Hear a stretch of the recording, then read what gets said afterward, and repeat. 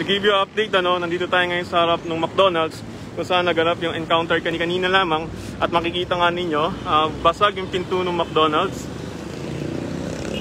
at uh, nagkaroon na ng at dumating na rin yung soko at sinimulan na rin nilang imbestigahan itong puting van na to na ginamit kanina bago nagkaroon ng encounter. Nagkalat din yung dugo sa lugar at uh, sinisiyasat ng soko yung paligid nitong fast food chain na to at uh, sinasagawa na nga yung investigasyon. Habang dito naman ay nagsimula ng ibilangin yung mga tauhan ng pulis.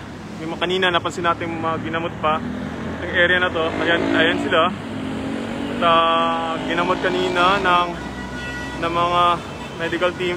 Yung grupo na yan na nagbarilan kanina. No? At itong sabi ng grupo ay binilang din kanina, kani-kanina at ina, pinapila sila ng ganyan at uh, ina-account ang bawat isa.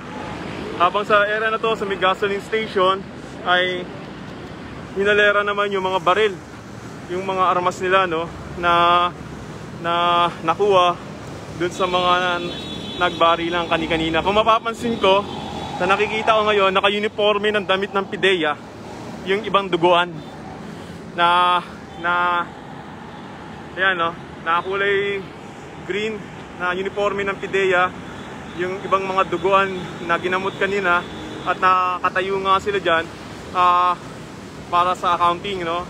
At uh, yung mga armas nila ay nilagay dun sa may gasoline station, inilapag muna siya doon at uh, binibilang din kung ilan karaso yung mga armas na na-recover sa nag-encounter. Dumating din yung, yung PIDEA director at uh, QCPD director uh, at ayan sila sa ngayon, nag-uusap yung dalawang panig at ina-assess nga yung sitwasyon sa nangyaring encounter kani-kanina lamang.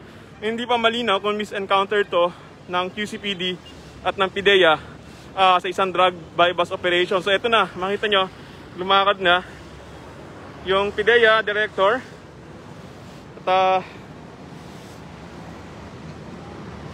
taan nila yung area kung saan naganap yung encounter dito sa may fast food, no?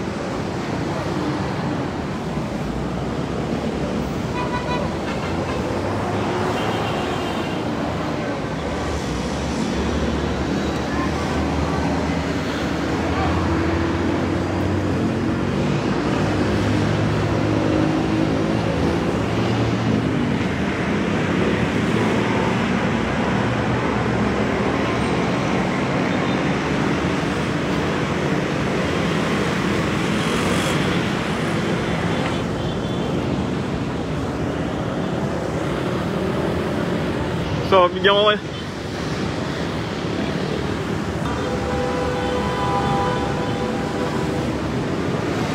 So, ulitin natin ano, ayan yung mga taong kasama sa encounter, naka-uniforme ng PIDEA at duguan nga yung iba. Habang ito yung area naman na iniimbestigahan na so, ito yung sasakyan nila.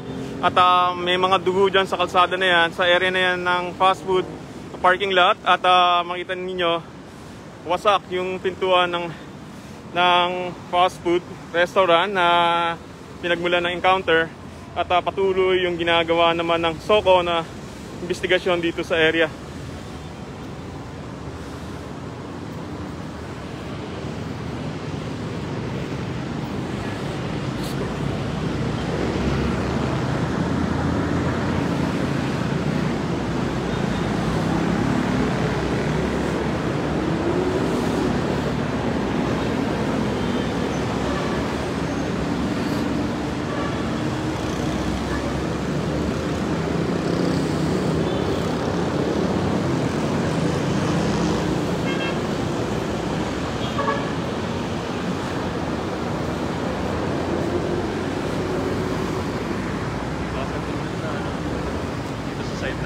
Oh, meron din. So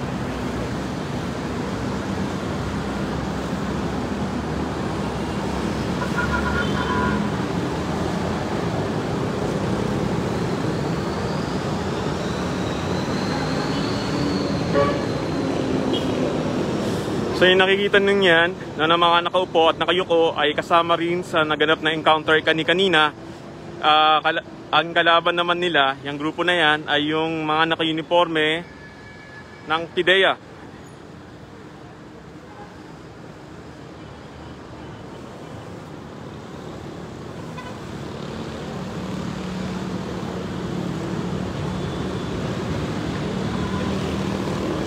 Session na, nasa taas kasi tayo ng area at medyo pinagbabawalan pa, pa lapitan to ng media.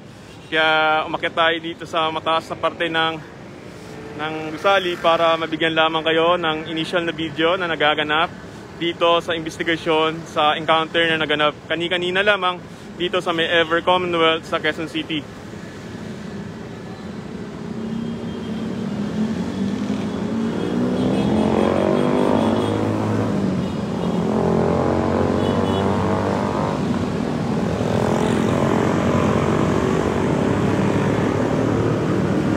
Okay, uh, ulitin natin, no? Ah, yung nakikita nyo yan, yung mga nakaluhod na yan, nakasuot ng puti, is- ilan lang din yan sa kasama sa nangyaring police encounter kani-kanina lamang. At ah, medyo pasensya na kayo dun sa ating video dahil ah, bawal pa at pinagbabawal pa ng kapulisan na lumapit ang media kaya umakyat tayo dito sa mataas na parte ng isang gusali para bigyan lamang kayo ng video na nagpapakita kung ano nagaganap kasalukuyan dito sa sa harap ng isang fast food store kung saan naganap nga yung police encounter. Ah, papakita ko lamang din sa inyo yung hanay ng mga kasama sa encounter, Ah, mga naka-uniforme nga sila. Ayan. Naka-uniforme sila ng PIDEA.